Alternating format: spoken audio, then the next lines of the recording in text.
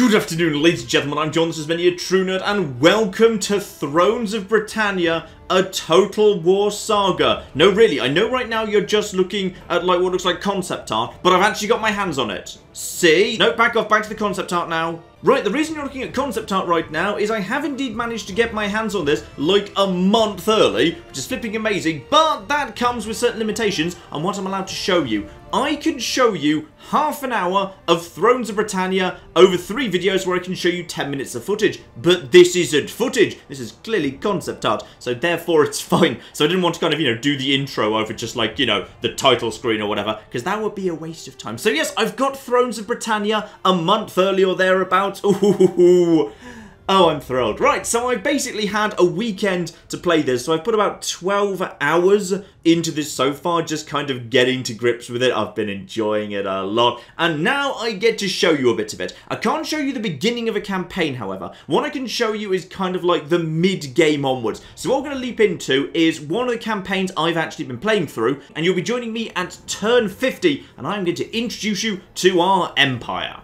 So welcome to Wales, because I'm playing as the Welsh Kingdom of, as you can see down there, Gwynedd. That's because the way Welsh works is you basically take the letters in the word and you don't pronounce any of them, you pronounce some entirely different letters for no well-explained reason. In fact, the best way to introduce my faction is probably to go into the really rather gorgeous strategic map up here. So basically, everything in white belongs to me. Uh, I started off up here, and then I expanded into English territory, heading further and further south. The guy who's kind of weirdly close to me is actually one of my Welsh allies. My armies, meanwhile, are down here. I've got my main army over here, down in South Wales, and my other army down here. But as a result, we now have a border with the biggest English kingdom going, the actual Anglo-Saxons. We're not at war with them yet, but they hate us and we hate them, so it's kind of a matter of time, which is why I've got one of my armies down here. Now, you may immediately notice that I've got basically no armies up north anywhere. Like, literally, the entirety of this bit of my empire is undefended.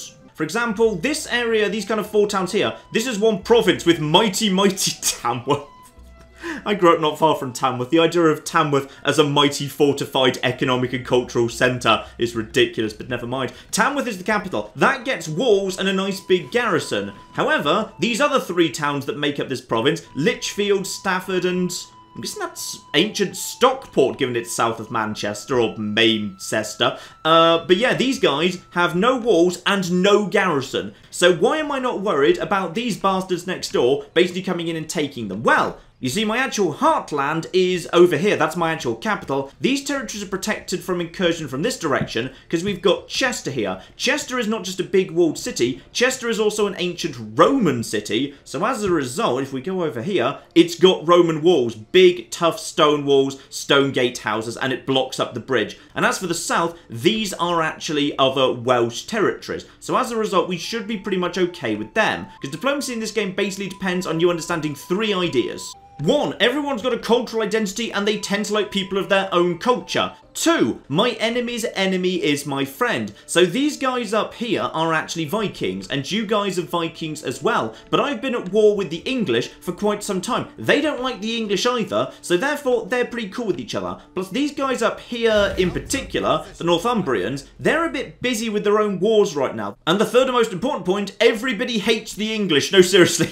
everyone hates the English. The English start off with a big, rich territory. These Anglo-Saxons, like they're the red on this map over here. They own huge amounts of really rich, really valuable, really fertile land. So as a result, basically they're constantly being attacked from Vikings and Welsh people and raiders just spawn in on the scene, attack them. I'm not actually at war with anyone right now. And that means, because for the time being at least, yeah, the Anglo-Saxons aren't actually attacking me, and I've got a good army, guarding Gloucester down here, so hopefully they'll struggle to get in, because yeah, I've got almost a full stack army there that's currently kind of uh, just kind of healing itself, together with a good-sized garrison, because I actually built a special garrison here to increase the size of the garrison. They're going to struggle to break Gloucester, especially as Gloucester is also old Roman town, so as a result there are good Roman walls here. Now that gives me a little bit of free time, which is lovely, because I think it's about time we thought about unifying Wales. And the Short Kingdom victory basically involves me controlling all five of the Welsh kingdoms, at least the five Welsh kingdoms that are actually in Wales. There's actually another one up north. We don't need to worry about that one.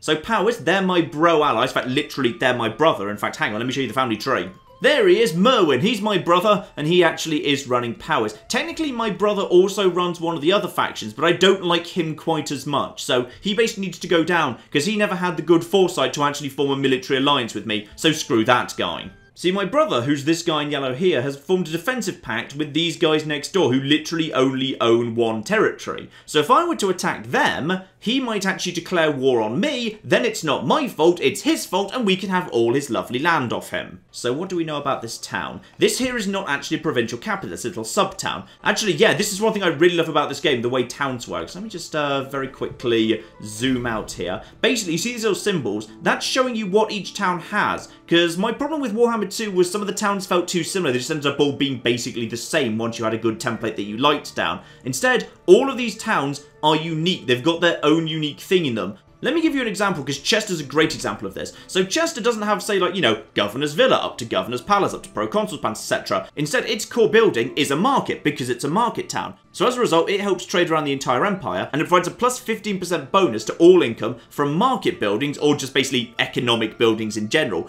So this here charter fair I'm building right now will get me 500 gold a turn, and this place, yeah, currently 262, but if I upgrade it, that's up to 400. That's a big increase. This is a really big money-making province. This guy I'm planning to attack, however, has something very important. He's got a farm. You see, food doesn't turn population growth and population points anymore. Those are just gone. You can upgrade your cities up to the next level whenever you've got the money to pay for it. Instead, food is now purely a function of how many armies you can actually maintain, as well as um, upper tier buildings as well. So for high tier advanced cities and for armies, you need food. And right now my food is at neutral. I'm losing food as fast as I'm making it, so I need to get some more in as soon as possible. Because right now that means I couldn't recruit a single extra unit without actually going into a food deficit. That that causes famines. Your armies don't regenerate. It's terrible and you want to avoid it. So, let's send my nice army in over here and go and attack this guy. Yeah, I'm very happy to declare war on him.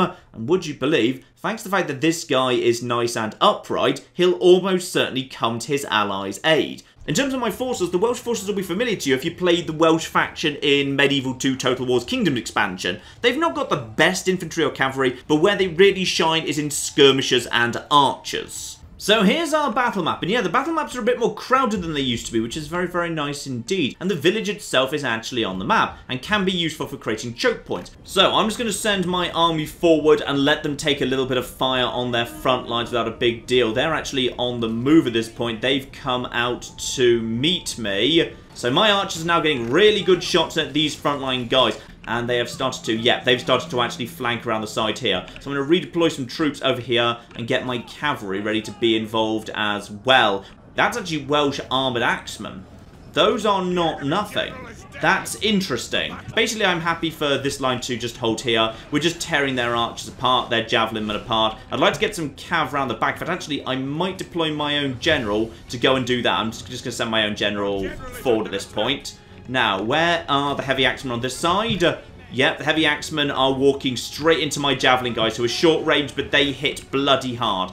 And this guy is, yeah, these Welsh Armoured Axemen are already wavering. You guys can get round here to start actually flinging into the side. They're shattered. My cavalry gets around the back. You guys just get over here and start hitting these guys. You guys get into the rear. Oh, those javelins. Those jav Look at that. Look at these guys now melt and they will break and that'll be the battle. So, this town falls to me. I could at this point basically hand it straight back to the guys I just beat on condition they become my vassals, but that's fine, I think we can do without that. Alternatively, I could sack it. It's actually been well developed, so there's a fair bit of money to be carried away. I actually want to occupy this place because it's got farmland, I want that for myself. So that faction ceased to exist, and my food goes up from 0 to 88.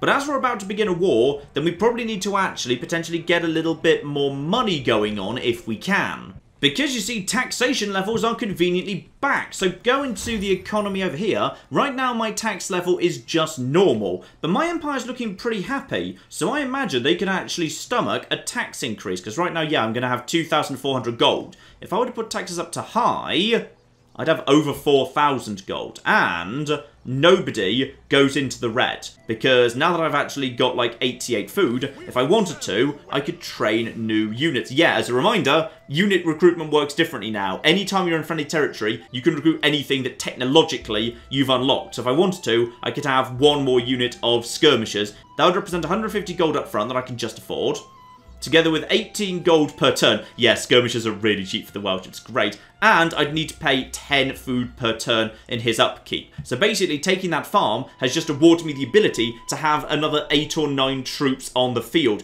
Food is going to be your big limiting factor. You can get money from anywhere. Food is difficult to come by. You absolutely want to take and hold farms. Uh, the other big change, of course, is when you recruit someone, they start weak and need to be allowed time to actually heal up.